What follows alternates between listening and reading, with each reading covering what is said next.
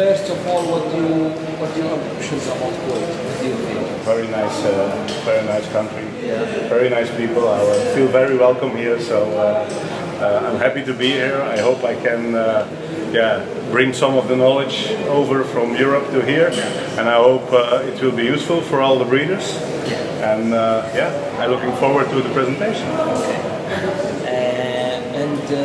what do you think about the level of the Kuwaiti budgies? Oh, they are all really on a good level uh, for sure. eh. I see uh, I see a lot of quality in the birds. Uh, of course, it need to be uh, on a broader base. So I think uh, all the breeders will need some time to to develop their stud and to have more good birds. But I think it will come soon. I'm I'm think uh, they are on the right way. Yeah.